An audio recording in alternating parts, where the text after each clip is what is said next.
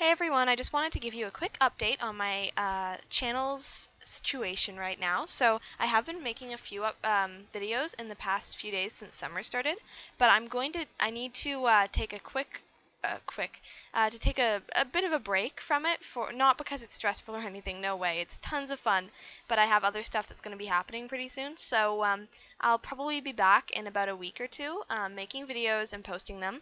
Um, and hopefully over the summer, I'm going to finish my summer um, LP, possibly my Island Paradise LP.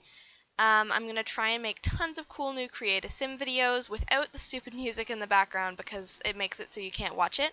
I'm going to update some of my old Create a Sim videos and add my commentary so that um, there's no music and you guys can watch them again.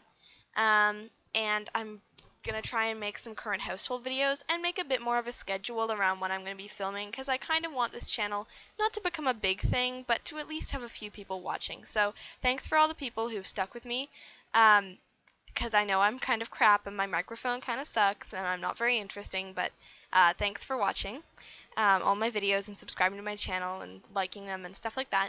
And I also wanted to point out that I just uh, my channel has a bit of a new look. Uh, I just updated my profile pic because I got my hair cut a while back and I thought, you know, I might as well.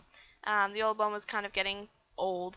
Um, so it's it's new. It's got a blue background, very technical, of course, some blue floating sim diamonds, all that stuff.